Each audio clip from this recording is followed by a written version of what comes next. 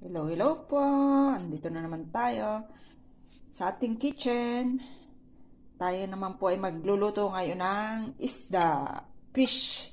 Aadibuhin po natin ito sa toyo. May bawang po tayo, sibuyas. Kung bago lang po kayo sa akin channel, pakisubscribe po at pakilike. Samahan po ninyo ako sa aking pagluluto. Tara na po!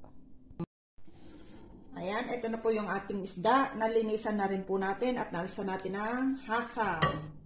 Ngayon naman po, ilalagay ko dito sa kawali. Ayan. Dahil medyo malaki yung ating isda, hiniwa ko po dito siya kabi-kabila para tayo magpiprito. At, lagyan natin ito dito. May dalawang butil tayo ng bawang.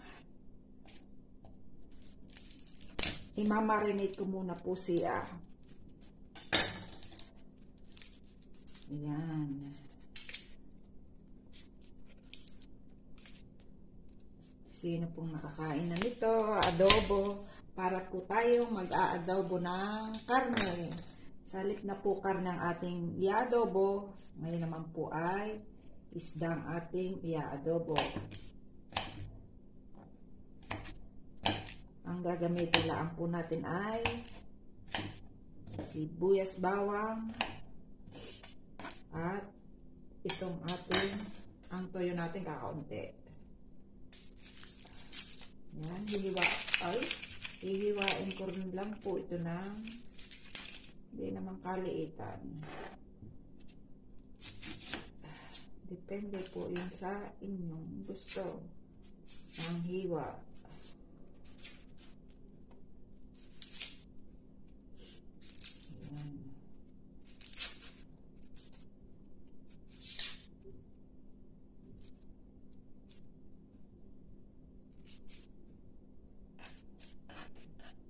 Marami pong nagtatanong bakit daw ito ang ginagamit ko. Eh, ito, para po siyang lagare sa tinapay ko. Hindi ako na, ano, hindi nadulas yung aking kutsilyo. Kasi pag ito po, madulas. Ito hindi. Ayan. Ganyan lang po ang paghihiwa ko. Okay? Ngayon, wait lang po. Yan. Kakaunti po yung ating toyo. Yan o. Siguro tama lang po ito.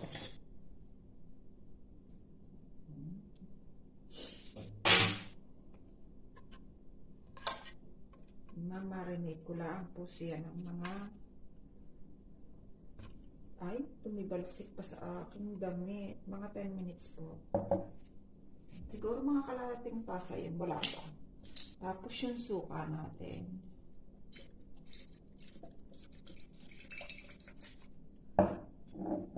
Yan. Parang parehas lang po ang dami. Depende po yun sa inyo. Ito na po yung aking ginagamit na suka. Kahit ako'y nandun po sa amin. Andito po tayo sa amin. Kahit andun po ako sa amin. Suka rin po na ang aking suka ng Italia. Ayan. I-marinate ko lang po siya ng mga 10 minutes or 15 minutes. Depende po sa inyo. Para po tayong nagluluto ng karne. Tapos, lagyan ko ng saan ang paminta natin? Mga ilang patak na paminta. Ay, ang tigas naman ito. Ang damot. Ayan, konti lang. Bawal na po sa akin. Black. Konti pong asin, konti lang. Huwag hindi po malagyan. Kabi-kabila.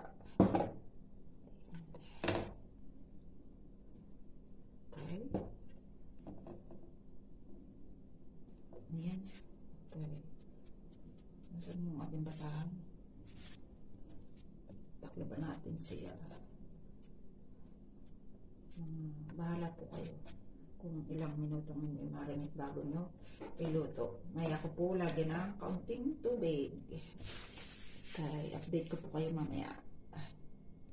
Ayan, na-marinate na po natin. Balik rin natin. At lulutuin na natin siya. Ngayon, lalagyan ko rin po nitong nor cube. May bawas na po ito. Yan. At, ang dami na ating kamay, may toyo. Yung tubig po.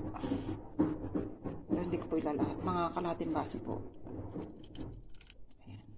Kalating baso lang. Ayan. Dahil ang dami naman. Ayan.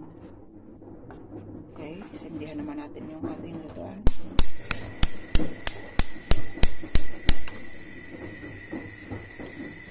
Ayan. Siguro lulutuin lang natin to sa mga 20 minutes. Okay, update ko po kayo mamaya. Ayan, kumukulo na po yung ating niluluto. Ayan. Ngayon naman po ay hihinaan natin ang apoy. Ayan. Kaya dito ko po inluto siya sa kawali. Kasi sa kaldero, alam kong bidikit siya. Ayan. Hihinaan naman natin po yung ating apoy. Okay. Ayan na po ang ating niluluto. Binaliktad ko naman po at dahil malaki, dahil malapit na siyang maluto, meron po tayo dito tawag dito, yung beans po. Ito po ay galing sa ano sa freezer dahil ang dami nating nabili. Maglalagay naman tayo dahil hindi na tayo nagsa... Ayan, ang init. Ang. Hindi na tayo nagsaing. Yan na lang ang ating hapunan. Ayan. Ito naman yung sa kanya. Insalata lang. Babayaan muna natin po siya na mga 5 minutes pa. Update ko po kayo. Yan, ito na po yung ating adobong isda. Nagsaing na rin po tayo dahil natikman, masarap. Kaya magsasaing po tayo. Yan. Nilagyan ko rin po ng spring onion. Yan. At yung ating pajulinik. Bahala po kayo kung anong yung ilalagay na gulay or wala. Plain lang, bahala po kayo. Optional po ito. Kung bago lang po kayo sa akin channel, pakisubscribe po at pakilike. Salamat po. Sana'y nagustuhan po ninyo itong ating bagong video. Pakipindot na rin po yung ating kampanelang kakalikalambang. Bye-bye po sa inyong lahat. God bless po. Bye-bye, bye-bye. Ayan na po ang ating finished product ng ating niluto. Siyempre may reason, may kanin puti. Ayan na po ang ating adobong isda. Kung bago lang po kayo sa akin channel, pakisubscribe po at pakilike. Tara na po kumain. Pindutin na rin po ninyo ang bell na kakalikalembang at nang kayo po ay updated. Bye-bye po. God bless po sa inyong lahat. Bye-bye, bye-bye.